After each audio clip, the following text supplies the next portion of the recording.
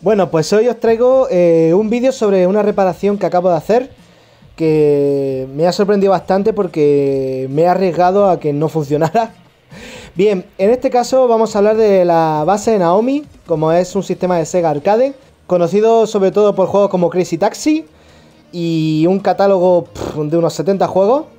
Bien, eh, esta base concretamente la que estaba reparando tenía un fallo muy concreto. Tú la enchufabas y eh, la base no daba vídeo, pero sí daba audio. Entonces, mirando los diagramas, sacamos por conclusión que hay un chip eh, el cual se encarga del funcionamiento del audio y del vídeo, pero es un chip propietario. Entonces, la única manera de conseguir ese chip es mediante una placa donante que esté muy muerta, pero que tenga algunos componentes funcionando. En este caso, he tenido la suerte. Así que bueno, vamos a ir narrando lo que he ido haciendo. Vamos a reparar un fallo muy común, común que cuando te pasa tienes suerte eh, de una base Naomi que da audio pero no da vídeo. Bien, vamos a encender. Ya está encendida. Ya si nos fijamos. Un momento.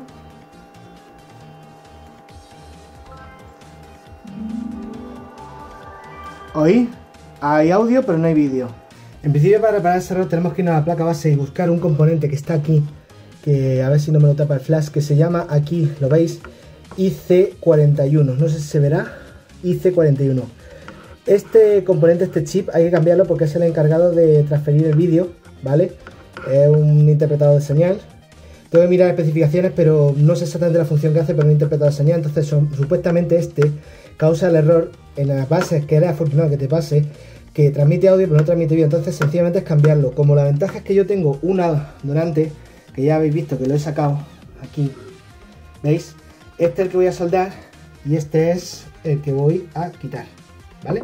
Otra cosa no, pero los componentes oficiales de las placas Naomi están muy pegados y muy bien estañados. Hay que dar mucho calor, es mucho coñazo y por lo menos aquí en el vídeo, como veis, lo he tenido que acelerar porque se tienes que, te tienes que tirar varios minutos hasta que el chip dice de salir y una vez que sale, pues alegría para el body.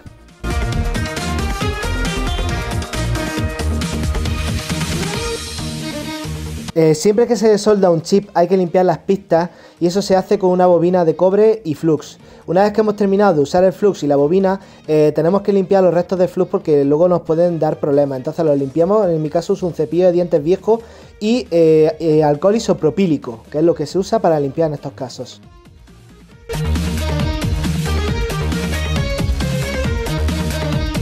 Bueno, eh, una vez que ya tenemos el chip bien agarrado, eh, lo que tenemos que hacer es ponerle, en este caso, flux, que es para ayudar a que se solde mucho mejor el proceso. Eh, hay que ponerlo por cuatro caras porque el chip tiene cuatro caras de pines. Hay que colocar con mucho cuidado el flux. Y una vez que hemos colocado el flux como debemos, hay que prepararlo todo, que en este caso sería el soldador especial de punta fina, y hay que limpiarlo correctamente y hay que estañarlo un poquito porque el proceso es complicadillo. Así que lo dicho, tened muchísimo cuidado con estas cosas si, estáis empezando. Siempre empezad con un aparato viejo que no importe que se rompa. Vaya a romper muchas cosas en el camino.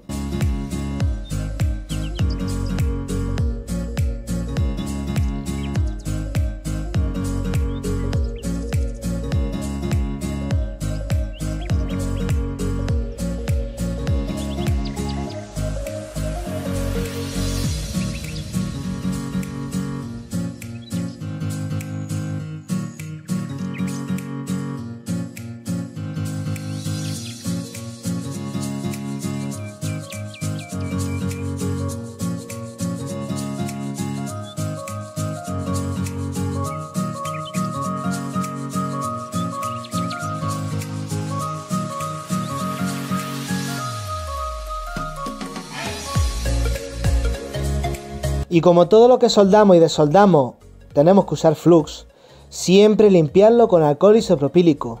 Muchos aparatos se rompen porque no se les quita. Con el tiempo puede saliros cara la cosa. Puede saliros caro, muy caro todo.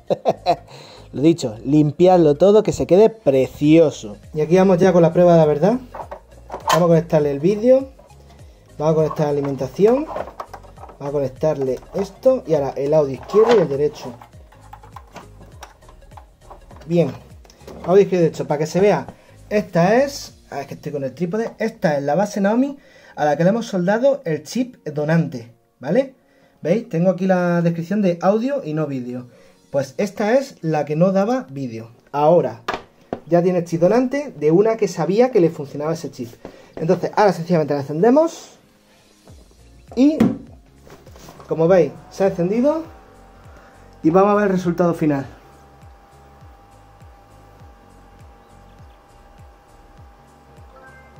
Naomi resucitada. Vídeo y audio. Perfecto. Y hasta le he probado el modo tarjeta con mi DIN y mi lector de tarjetas.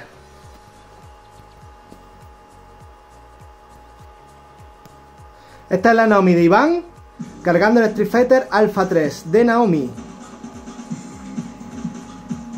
Pues éxito rotundo parece, ¿no? Y ese es el chip que he cambiado.